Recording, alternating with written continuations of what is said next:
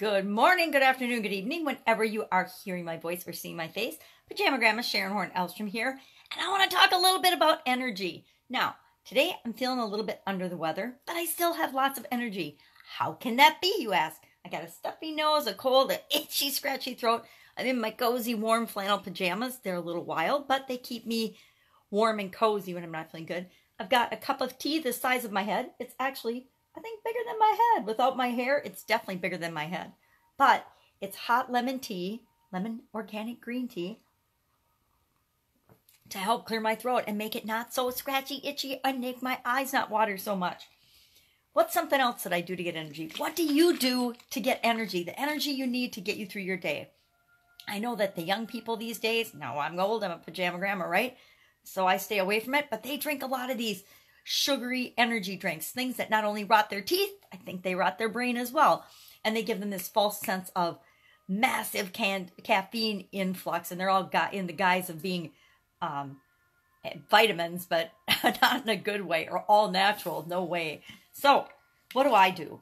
I drink things like this terribly ground, it's like army green colored drink. And what it is, something I got from my mom, because my mom's all into nutrition and she's She's 81 years old. She looks fabulous. So I like to listen to her when it comes to nutritional things. And she does a lot of research and a lot of, she spends a lot of time and energy researching different things.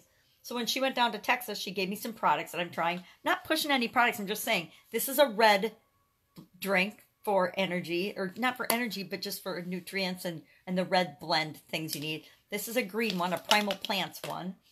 This is an energy one. This is actually an energizing berry drink that I do some of those sometimes, just a little energizing berry. And then, of course, a prebiotic to help our digestive system because if our digestive system is slow, all of us is slow. So I do that. And then the other thing she just gave me, I've never even heard of, is like adding oxygen to your water. So you add 15 drops of oxygen to 8 ounces of water. And I don't know what it's supposed to do, but apparently it is supposed to make you feel better and give you energy. And we all need energy to get about our day.